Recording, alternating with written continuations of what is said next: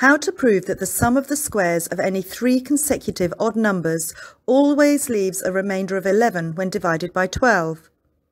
If n is a number, 2n is an even number, so 2n minus 1 is an odd number.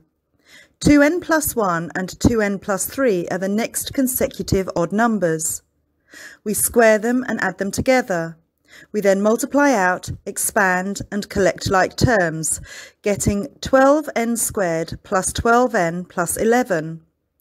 We take out a factor of 12, getting 12n squared plus n plus 11, showing that there's a remainder of 11.